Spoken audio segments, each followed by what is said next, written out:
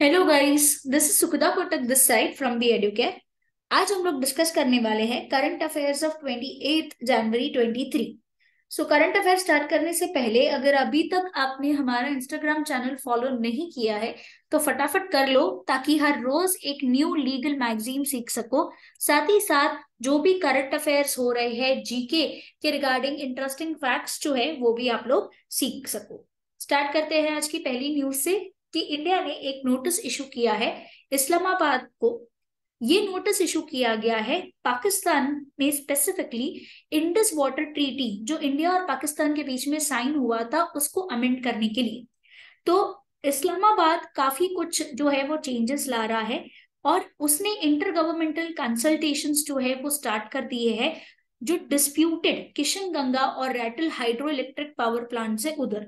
इसीलिए इंडिया ने इस्लामाबाद को ये नोटिस जो है उसके वायोलेशन के लिए इशू किया है बिकॉज़ कंस्ट्रक्शन हो रहा है वहाँ पे दो mega hydro electric power plants का एंड इसीलिए अमेंडमेंट लाना ज़रूरी है ये वाटर ट्रीटी में। नेक्स्ट न्यूज़ है ऑल गवर्नमेंट व्हीकल्स जिनका रजिस्ट्रेशन डेट 15 इयर्स से ज़्यादा हो गया है, उनको स्क्रैप किया जाएगा। सो लास्ट ईयर नवंबर 22 में गवर्नमेंट ने एक नया रूल्स लाया था अमेंडमेंट लाया था, जहाँ पे बताया गया था कि अगर किसी व्हीकल की रजिस्ट्रेशन डेट 15 ईयर्स से ज़्यादा है तो उसको स्क्रैप में लाया जाएगा। ये पर्टिकुलरली एनवायरमेंट को बचाने के लिए किया गया था, ताकि जो पोल्यूटेंट्स रिलीज़ होते हैं इन व्हीकल से वो कम हो जाए।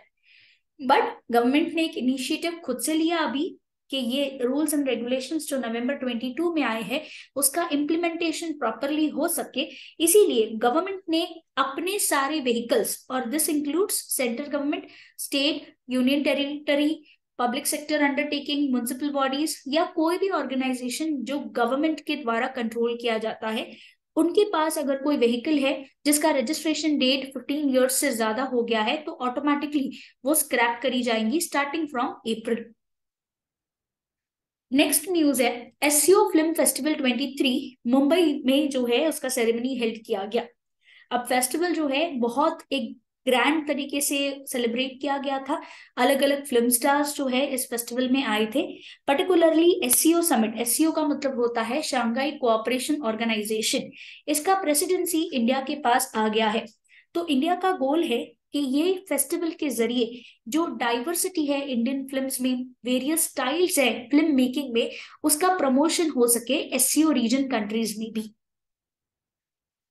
नेक्स्ट न्यूज़ है ईपीएफओ ने लॉन्च किया है एक पर्टिकुलर प्रोग्राम जो हर एक डिस्ट्रिक्ट तक पहुँचाया जाएगा, जिसका नाम होगा निधि आपके निकट प्रोग्राम अब ईपीएफओ का मतलब होता है एम्प्लॉइज प्रोविडेंट फंड ऑर्गेनाइजेशन ये प्रोग्राम पर्टिकुलरली लॉन्च किया गया है ताकि जो भी स्टेक होल्डर्स है, उनका इंटरेस्ट बना रह सके ईपीएफओ के साथ।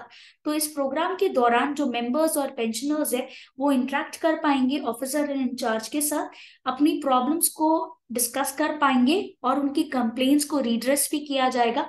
एंड पर्टिकुलरली इस प्रोग्राम का मेन एम ये है कि जो अलग अलग डिस्ट्रिक्ट्स है, उसमें every month twenty seventh date को एक ऐसा प्रोग्राम कंडक्ट किया जाएगा जहाँ पे लोग अपनी कंप्लेंट्स लेके आ सकते हैं और उनकी प्रॉब्लम्स को रिजॉल्व किया जाएगा।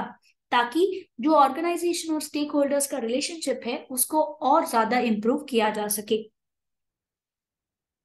नेक्स्ट न्यूज़ है फिफ्टींथ ब्रिक्स समिट होने वाला है अगस्त में इन साउथ अफ्रीका डर्बन तो ये ब्रिक्स है क्या? तो ये एक ऑर्गेनाइजेशन है फाइव कंट्रीज़ का, जहाँ पे बारह प्लस कंट्रीज़ भी जुड़े हुए हैं, जो अपना इंटरेस्ट अभी बता रहे हैं इस पे जुड़ने के लिए। तो काफ़ी सारे डेवलपिंग लिंक्स है ब्रिक्स के लिए। अब यहाँ पे सेंट्रल टॉपिक इस पर्टिकुलर समिट का होने वाला है कि किस तरीके से डेवलपमेंट और ग्रोथ करना है। अलग अलग foreign ministers of various countries जैसे कि ब्राज़ील, रशिया, इंडिया और चाइना पहली बार मिले थे 2006 में और इसी से ब्रिक कोऑपरेशन की शुरुआत हुई थी। फिर अप्रैल 2011 में पहली बार साउथ अफ्रीका ने पार्टिसिपेट किया था, जब ब्रिक्स का थर्ड समिट हुआ था। एंड ब्रिक्स ने total fourteen formal meetings conduct की है एंड नाइन इनफॉर्मल मीटिंग्स जो है अभी तक कंडक्ट करी है। स्टार्ट करते हैं आज के इंपॉर्टेंट क्वेश्चन से। फ़र्स्ट क्वेश्चन है what is the name of the cluster of the digital solutions like Aadhaar, UPI, DigiLocker, CoWIN, GEM and GSTN? Next question है जो मॉन्यूमेंट मिट्रा स्कीम जो लॉन्च किया गया है ये कौन सी मिनिस्ट्री ने लॉन्च किया है? नेक्स्ट क्वेश्चन है what are the M one Abrams. अब ये काफ़ी बारी अभी कल से न्यूज़ में हमको देखने को मिल रहा है तो ये कौन से सिस्टम से पर्टिकुलरली लिंक्ड है, ये आपको आंसर करना है। नीचे कमेंट बॉक्स में अपना आंसर्स मेंशन करिए। Shout out to Neha Ansari, Ravi Patil, Nandini More computer man Nazia Shah, Samriddhi Kamle, Priya Kalmaste and Jyoti Joshi, जिन्होंने प्रीवियस वीडियो में करेक्ट आंसर्स दिए हैं। सो so, आ जाते हैं प्रीवियस वीडियो के क्वेश्चन के आंसर्स के ऊपर। फ़र्स्ट क्वेश्चन था fifth stealth Scorpene class submarine जो रिसेंटली इंडियन नेवी में कमीशन किया गया है उसका नाम क्या है? जिसका करेक्ट आंसर है आईएनएस वगीर। नेक्स्ट क्वेश्चन था कौन से इंस्टीट्यूशन ने लॉन्च किया है एक डेटाबेस जिसमें रिपोजिटरी ऑफ़ इंफॉर्मेशन जो म्यूनिसिपल बॉन्ड से रिलेटेड होगा वो कंटेन किया जाएगा? The correct answer is SEBI SEBI का फुल फॉर्म है securities and exchange board of India next question था, कौन से स्टेट ने अनाउंस किया है कि जो लोग माइनर गर्ल्स के साथ शादी करेंगे, उनको सख्त से सख्त सजा मिलेगी? इसका करेक्ट आंसर है Assam.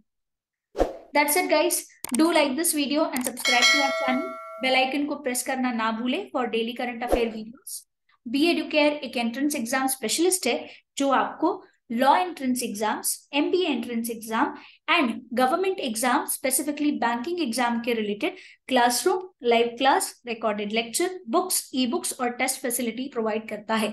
तो किसी भी तरीके का डाउट आता है एग्जामिनेशन के रिलेटेड आप नीचे कमेंट बॉक्स में मेंशन कर सकते हो या इस number eight three eight three eight one double eight double eight पे कॉन्टेक्ट कर सकते हो।